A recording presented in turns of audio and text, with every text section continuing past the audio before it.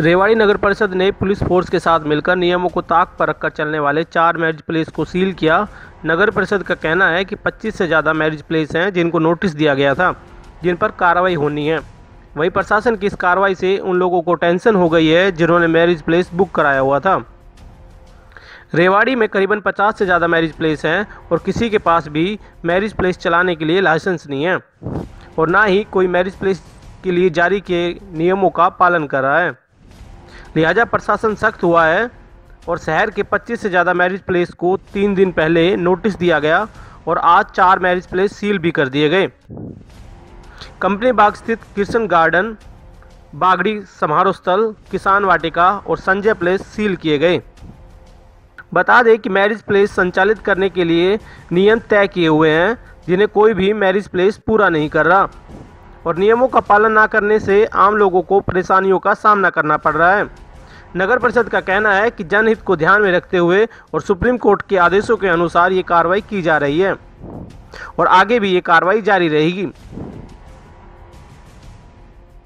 प्रशासन की इस कार्रवाई से मैरिज प्लेस संचालित करने वाले लोगों में हड़कम मच गया और जिन लोगों के अभी मैरिज प्लेस सील हुए हैं, उन्हें ये टेंशन है कि शादी की बुकिंग उनके पास है, ऐसे में वो शादी कैसे कराएँगे? सील हुए मैरिज प्लेस संचालक का कहना है कि उन्होंने नियमों का पूरा किया हुआ है और उन्हें नोटिस मिला जिसका उन्होंने दस्तावेज़ सहित जवाब भी दे दिया। लेकिन उनकी कोई नहीं सुनी और उनका मैरिज प्लेस सील कर दिया गया। प्रशासन की इस कार्रवाई ने मैरिज प्लेस संचालकों के साथ साथ उन लोगों की भी टेंशन बढ़ा दी है, जिन्होंने शादी कराने के लिए मैरिज प्लेस बुक कराया हुआ था।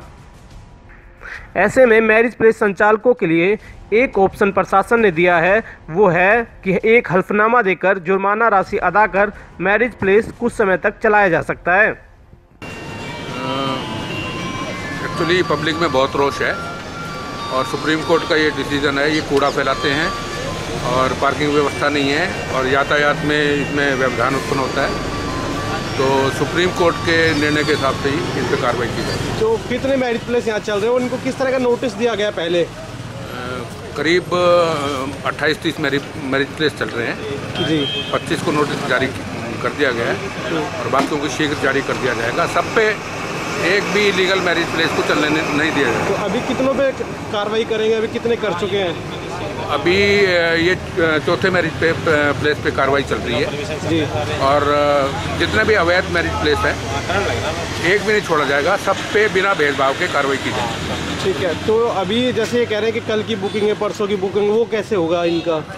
वो हायर अथॉरिटी से परमिशन लेके कोई अगर जुर्माने का प्रोविज़न है तो जुर्माना अदा करके तो और इनसे हलफनामा लेके अगर ऐसा प्रावधान है तो खोल दिए जाएँगे। और लेकिन इनसे लिखवा के लिया जाएगा कि भाई उसके बाद ये पॉलिसी की अवहेलना नहीं करेंगे।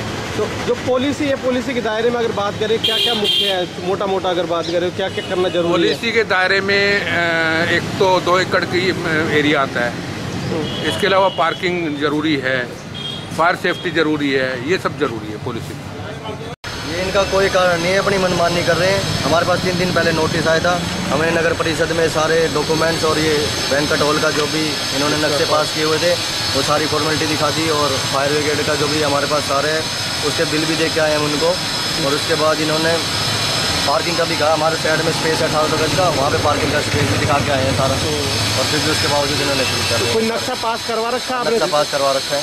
करवा रखा है ये ये रहा इसका नक्शा पास लेकिन अब शादियाँ भी हैं बुकिंग होगी आपकी कैसे हाँ, होगी वो सारी? वो अब देखो ये भी इन्होंने कर दिया सील अब।